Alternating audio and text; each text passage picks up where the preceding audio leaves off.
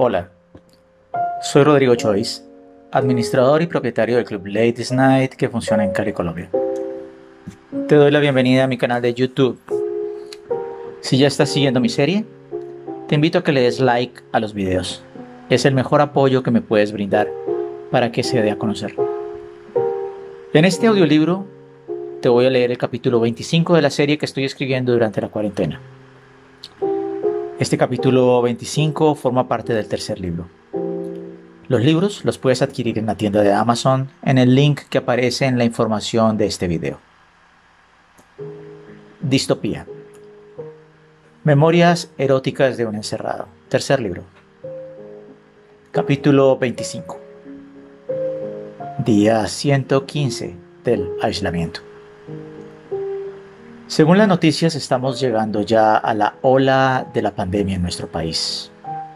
Seguimos en aislamiento y todos los establecimientos comerciales de esparcimiento y diversión completan cuatro meses de inactividad, mi club entre ellos. Sin embargo, en Cali todos los fines de semana se escucha que hay fiestas clandestinas a pesar de las medidas de ley seca y toque de queda que ha impuesto el gobierno local. Es triste concluirlo, pero la verdad es que la cuarentena, por no haber sido general y asumida con el firme compromiso de todos en su momento, no ha sido del todo efectiva. Y los platos rotos los pagaremos todos. Continúo con mi historia con Erika. Estoy ante el espejo que hay en mi pequeño departamento arreglándome. Visto todo de negro una camisa de mangas largas que estoy doblando con esmero para que queden acomodadas a la altura de mis antebrazos, pantalón de drill y zapatos de cuero. Me aplico un poco de mi loción favorita, me coloco el collar de semillas negras que me regaló una amiga y ajusto el reloj en mi muñeca. Son las nueve de la noche, media hora más, y debo recoger a Erika en su casa como acordamos los dos. Es noche de sábado, el día de la fiesta de parejas. Ya todo está debidamente organizado en el club para que puedan operar todos los muchachos con tranquilidad. Sin embargo, les di instrucciones precisas a los encargados para que me estén escribiendo y contando cómo transcurre la noche. Me cercioro antes de salir del apartamento de que en la bolsa negra que llevo conmigo esté todo. El traje erótico para Erika, los dos antifaces que vamos a emplear en la fiesta y la tarjeta de invitación que contiene el mapa de ubicación del lugar. Salgo, tomo el ascensor y subo a mi carro. Llego al edificio donde se encuentra el apartamento de Erika a las 9 y 20. La llamo al celular. Hola bonita, ya estoy aquí. Hola Rodri, abajo, me contesta y colgamos al tiempo. Ubico la bolsa en el asiento de atrás y desciendo del vehículo para poder recibirla. Cuando ella sale por la puerta principal del edificio, quedo impactado. Siento una indescriptible emoción cuando veo que me ha dado gusto haciéndose un hermoso par de trenzas. Trae puesto un corto y ceñido vestido negro que permite ver sus hermosas y largas piernas, así como sus desnudos hombros, la tela del vestido sube por la parte de atrás de su espalda y se abrocha alrededor de su cuello, simulando una especie de gargantilla. Es muy sexy. Y calza los tacones negros tal como le dije. ¡Qué bien! ¡Wow! Le digo rodeando su cintura con mis brazos y le doy un beso. Erika se ríe tímida. ¿Te gustan mis trenzas? me pregunta coqueta. Me encantan, bonita. Gracias, le digo sonriente. Subimos al carro y partimos enseguida en dirección de la casa campestre donde se ha convocado la reunión. Queda fuera del perímetro urbano, a unos 10 o 15 kilómetros de Cali. Mientras conduzco, Erika me acaricia suavemente los cabellos y me mira sonriente. Mi serendipia, susurra y me da un beso en la mejilla. ¿Cómo siguió mi colita? Le pregunto sin apartar mi vista de la carretera. Noto por el rabillo del ojo como Erika me hace un gesto, proyectando sus labios como si fuera a besar, en una especie de infantil puchero. No lo vuelvas a hacer, Rodri. La verdad, me dolió mi colita. Me confiesa con cara de niña consentida. ¿La fusta o, yo? Le pregunto sonriendo. La fusta, me responde. Y sonriendo apenada agrega. Lo otro me gustó. Ok, bonita. No volveré a usar la fusta, te lo prometo. Le respondo acariciando su desnudo muslo. El vestido y las trenzas la hacen ver muy sexy. ¿Traes puesto calzones? Le pregunto. Claro, Rodri, siempre me pongo, me contesta riendo. Quítatelos, quiero manejar tocándote la coquita, le digo. Menea la cabeza de un lado a otro y se ríe. Rodri, ¿tú sí has sido un psicólogo? Me pregunta mientras comienza a sacarse los interiores con cuidado. Le extiendo mi mano haciéndole un gesto para que me los entregue y respondo. Un par de veces nomás. Cuando los tengo en mi mano me percato que son negros y muy suaves al tacto. Me los llevo a la nariz. Voy a quedármelos como un recuerdo de esta noche, le digo. Erika se ríe. Los guardo en la gaveta que tiene mi carro en la parte inferior de la puerta del conductor y luego extiendo mi mano para tocar y acariciar su linda vulva que ha quedado desnuda. Erika se levanta el vestido, separa sus piernas y pone su mano sobre la mía mientras la mimo.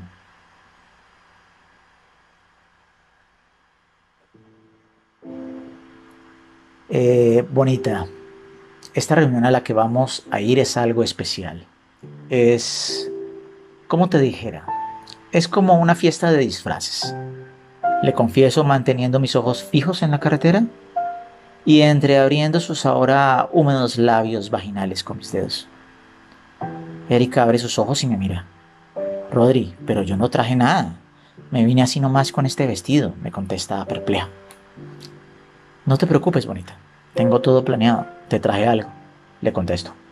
Aparto mi mano de su vagina para alcanzar la bolsa que está en la silla de atrás y después de entregársela, vuelvo a colocar mi mano en su vulva. Ya me da como miedo recibirte regalos, ríe ella con aprensión. Abre la bolsa y saca la prenda que hay en su interior. Es una fiesta con un código de vestuario muy estricto, le digo, y agrego, las mujeres con trajes eróticos y los hombres vestidos ni muy formal ni muy informal. Erika contempla el traje y noto cómo le brillan los ojos.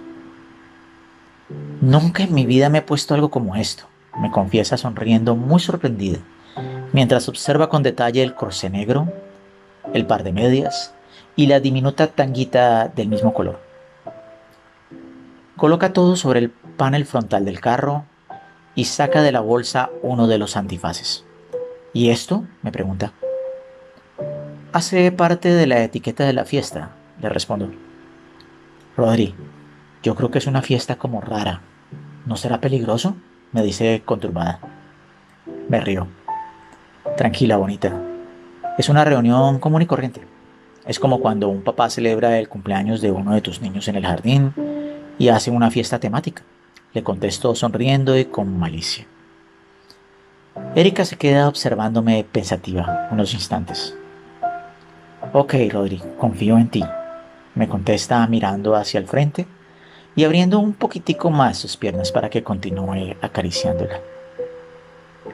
No tardamos en llegar a nuestro destino. Le pido a Erika que me alcance la tarjeta con el mapa que está en la bolsa para poder confirmar bien la ubicación.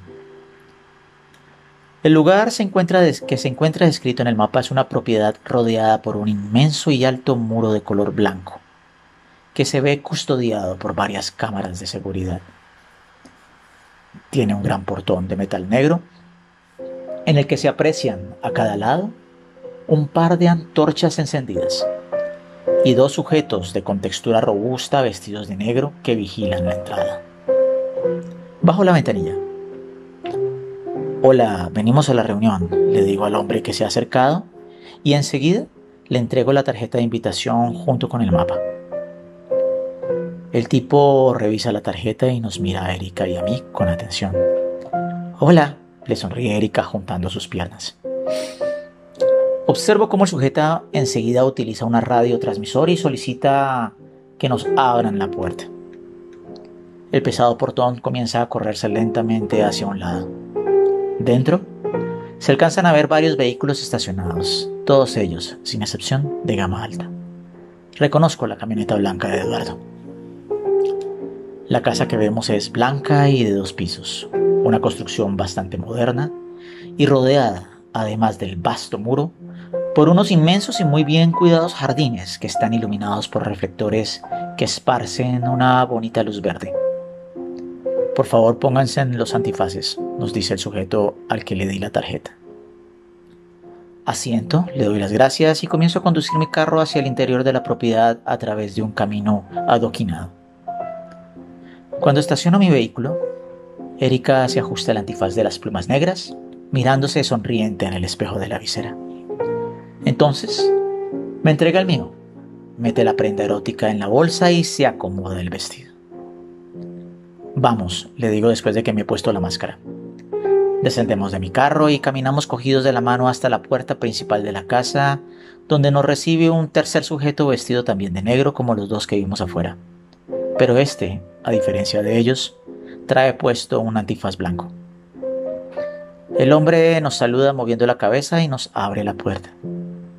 Erika se aferra a mi cuerpo, haciéndose de mi brazo. Ingresamos juntos a la casa nos quedamos gratamente impresionados. El interior de la casa es amplio y con una decoración muy moderna. Tiene una gran zona social. Al fondo, integrada de manera exquisita con la construcción y a un nivel inferior en dos peldaños, se encuentra una hermosa piscina iluminada con luces azules y verdes que confieren un particular encanto. Pero lo más llamativo de la piscina es que está rodeada y construida con inmensas piedras y cuenta con varias mini cascadas iluminadas.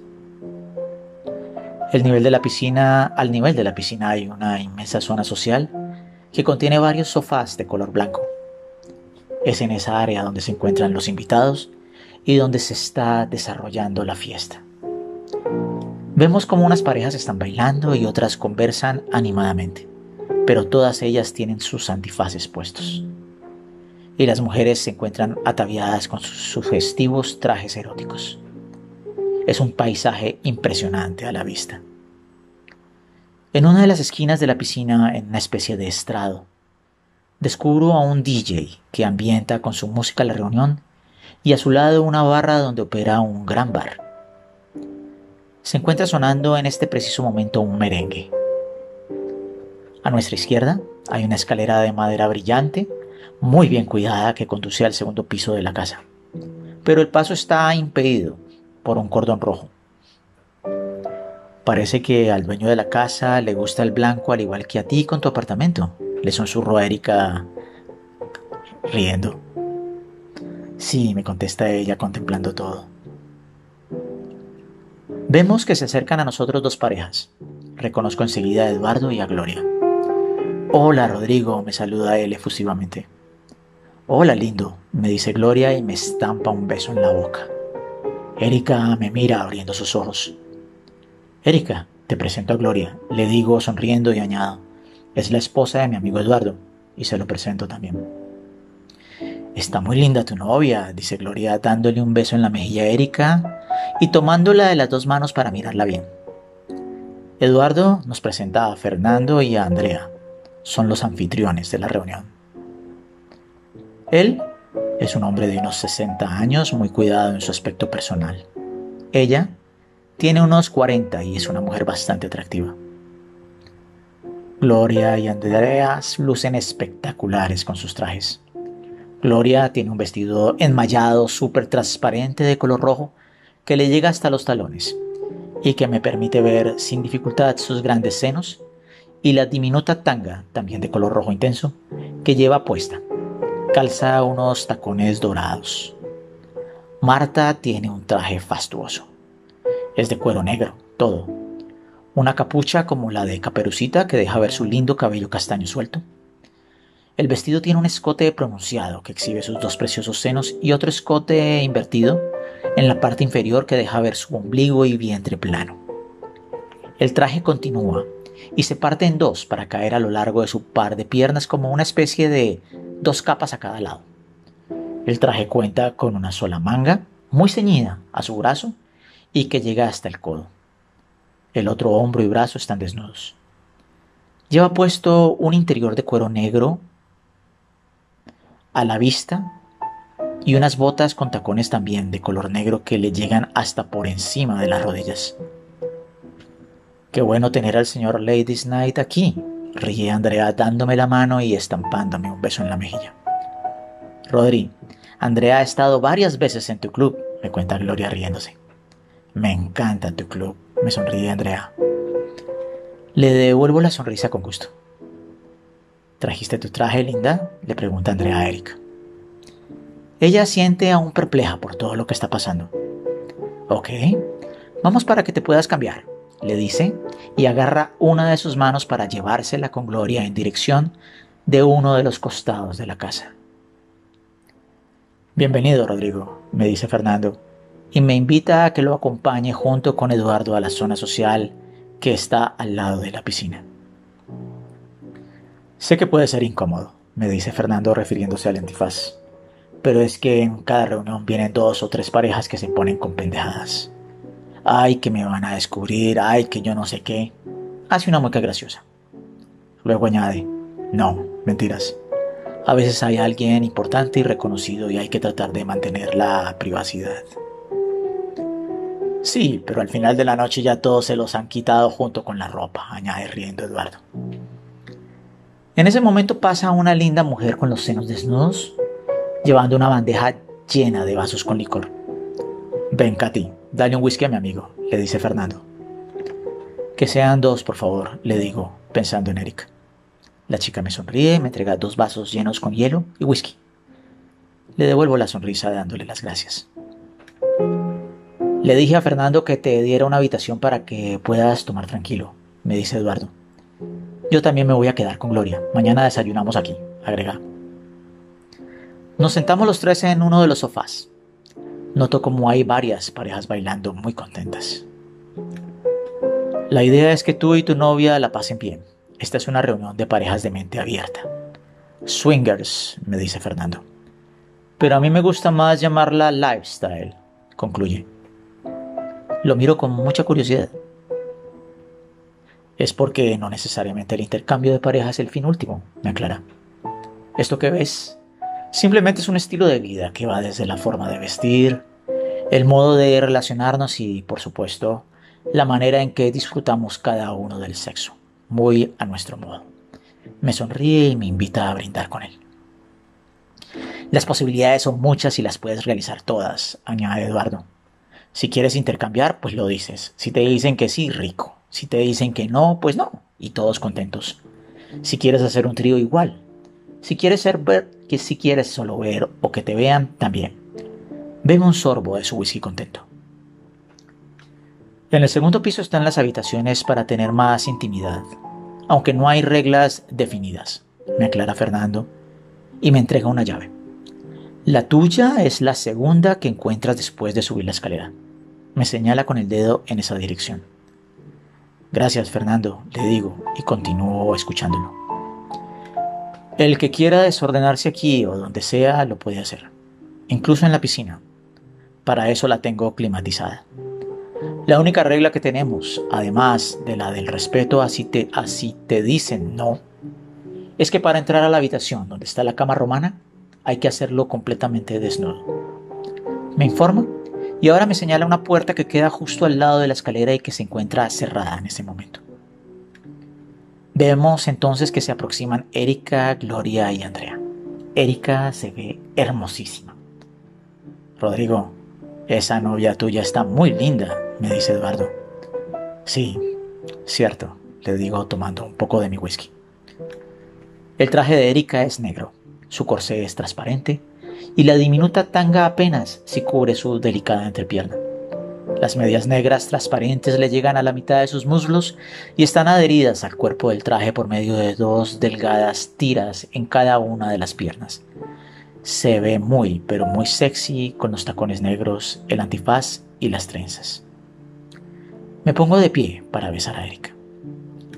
Aquí le devolvemos a su bebé, señor Lady Night, me dice coqueta Andrea. Cuídala, porque si no, nos la llevamos, me dice Gloria acariciándome la cara. Estás muy bella, le digo a Erika visiblemente impresionada. Me siento muy rara con esto, Rodri. Nunca me había puesto algo así, me murmura abrazándome y con pena. Pues lo vas a tener que hacer más a menudo, le digo sonriendo. Comienza a sonar un merengue. Sigo amándote, de Carlos Alfredo. La aprieto contra mí, contra mi cuerpo y comienzo a bailar con ella. Bonita, este es uno de mis merengues favoritos, le confieso. Hace mucho tiempo que no lo escuchaba. La beso suavemente mientras nuestros cuerpos comienzan a moverse con una deliciosa suavidad y al ritmo de la música. Muchas parejas enseguida nos imitan y comienzan a bailar al lado nuestro. Me gusta el aroma que tiene tu piel, me gusta entregarme en tu fuego y arder. No te detengas, no, no, no, no te detengas. Sigue haciéndome el amor. Quiero sentirte otra vez. Escuchamos que así dice la canción y nos apretamos más el uno al otro. Rodri, todas las mujeres aquí son muy bonitas, pero los hombres no lo son tanto, se ríe. ¿En serio? ¿Ya te fijaste bien? Le pregunto sonriendo. Bueno, de pronto aquel que está allá, el del antifaz blanco, se ve como guapo, me dice, y se ríe. Pero me gustas más tú, y me estampa un tierno beso. Cuando termina la canción nos sentamos con las dos parejas. Bebemos whisky, nos reímos, nos relajamos y terminamos bailando intercambiando nuestras parejas. Me complace que abunda el merengue. Descubro que la razón es porque Fernando es de Bogotá. Bonita, espérame un momento. Voy a llamar al club para ver cómo está todo allá. Le digo a Erika, me pongo de pie y me dirijo a la zona donde está el bar, justo al lado del DJ. Mientras me comunico, veo que sobre el inmenso mesón hay todo lo que se quiera. Condones, pastillas potenciadoras, pasabocas de todo tipo y licor en abundancia como para bañar una recua de caballos. Confirmo que todo está en orden en Ladies Night y que el club está lleno. Entonces me dicen que Jorge quiere hablar conmigo. Hola Jorge, ¿qué fue? Le pregunto. Rodri, ¿A que no adivinas quién vino a celebrar su despedida? No, no sé quién, le pregunto sin mucha curiosidad. La monita con la que te llevé al bar gay y preguntó por ti. Me quedo en silencio unos segundos. ¿Y qué le dijeron? Le pregunto. Que tenías un compromiso. ¿Quieres que le diga algo? Me pregunta. No, Jorge, no le digas nada. Me quedo callado unos segundos. Jorge, ¿sí, jefe? Háganla sentir muy bien. Consiéntanla, le digo. Cuente con eso, jefe. Cuelgo y observo cómo Erika conversa amenamente con Andrea y Gloria. Me sonrío. Me sirvo un trago doble de whisky y me lo bebo de un solo sorbo. A mi lado se hace el sujeto del antifaz blanco que llamó la atención de Erika. Está con su pareja una mujer agradable también que luce un traje blanco y una máscara también blanca. Converso unos minutos con los dos y luego regreso donde se encuentra Erika y las dos parejas. Rodri, me acaba de decir Gloria que van a hacer un show. Me recibe Erika visiblemente emocionada. Qué chévere, bonita, le digo. La beso y la saco a bailar. Suena Procura coquetearme más de Chichi Peralta. Me dejo llevar por el ritmo, por el movimiento de su sensual y delgado cuerpo. Pongo mi mente en blanco. Rodri, todo esto es muy loco, me murmura al oído. Y añade, contigo todo es muy loco. La miro a los ojos y le susurro. Serendipia. Erika me abraza con fuerza y comienza a besarme. Termina el disco y nos sentamos. Enseguida nos damos cuenta de que el show va a comenzar. Todas las parejas se ponen de pie y rodean la piscina. Mientras bailaba con Erika acomodaron una tarima en medio de la alberca. Sobre ella Han ubicado un gran colchón cubierto con un tendido de color rojo intenso y han encendido varias antorchas alrededor de la piscina. Escucho que comienzan a sonar unos tambores tribales y entonces veo aparecer a dos hombres morenos con antifaces blancos. Son altos, acuerpados y están completamente desnudos con sus penes vigorosamente erguidos.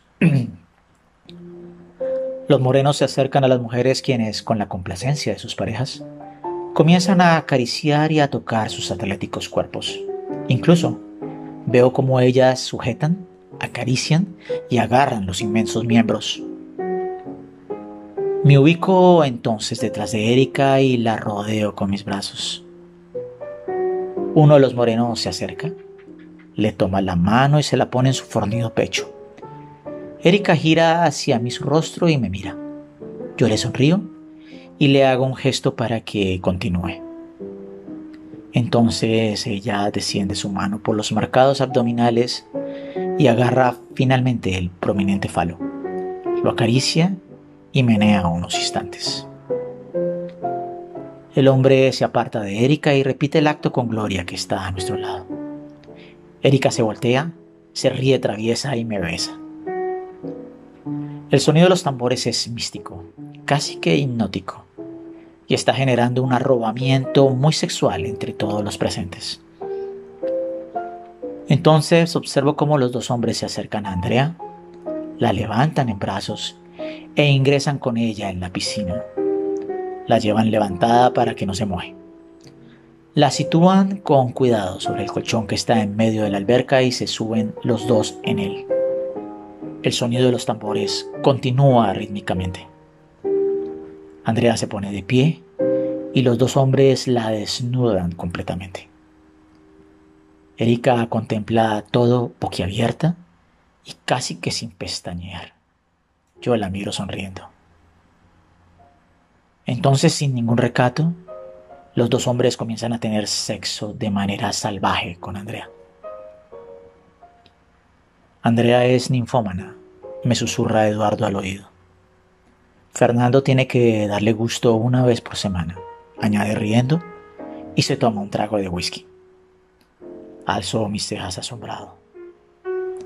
Mientras los dos hombres ejecutan con Andrea todas las poses ávidas y por haber, las parejas que están alrededor de la piscina comienzan a interactuar entre sí.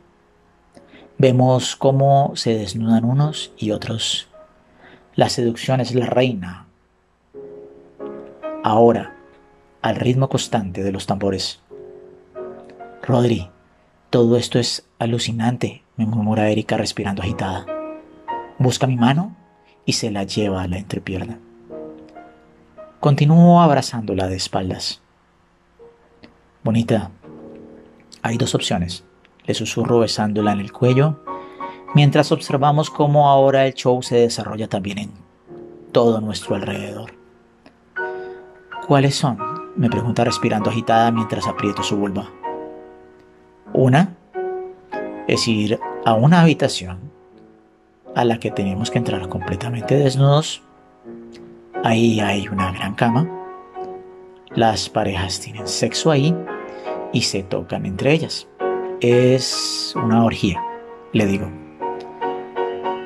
Erika se muerde el labio inferior y respira profundo. ¿Y la otra? Me interroga llevando mi otra mano a sus senos. Subir a una habitación y darte una sorpresa, le murmuro. Erika se voltea y me abraza. Rodri, tus sorpresas son miedosas, ríe coqueta. Esta no, le contesto sonriendo. Respira profundo, me besa con pasión unos segundos. Entonces separa sus labios de los míos y me mira a través del antifaz con sus hermosos ojos negros y largas pestañas. Acerca sus labios a mi oído y me susurra con deliciosa sensualidad.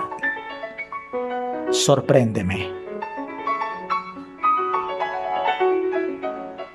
Si te ha gustado este capítulo, dale like a este video. Es un aporte muy importante para que se conozca mi serie. Si deseas leer los libros, Recuerda que los puedes conseguir en la tienda de Amazon en el link que aparece en este video. No olvides suscribirte a este canal para que te enteres cuando publico el próximo capítulo. Lo puedes hacer fácilmente dándole clic al círculo que aparece en estos momentos. Ah, y por favor recomienda mi serie con tus amigos. Gracias. Se despide de ti, Rodrigo Choice.